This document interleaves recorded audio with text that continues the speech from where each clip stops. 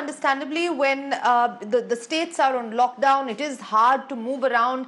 Uh, essentials becomes even more important. It becomes even more necessary. But unfortunately, we have been reporting, uh, we have been seeing that the prices of vegetables, particularly of tomatoes, of potatoes, of lady's finger and beans have shot up in cities like Mumbai and Bengaluru uh, with a price hike of at least 20 to 30 rupees.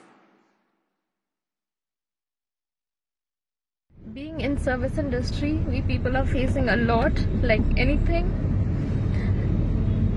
I am living in a, such a place which is a place of full of hypocrites including you know the local police also.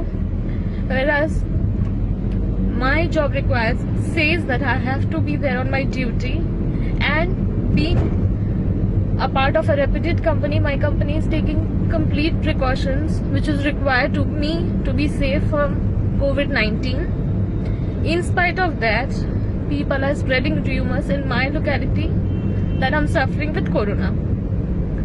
First, when uh, secondly, when I'm not, not at home, they are coming and harassing my mother like anything. She cannot go to the market to buy groceries because people are refusing her, saying that your daughter has a corona and you might also have it and you are spreading the spreading it to the other people as well.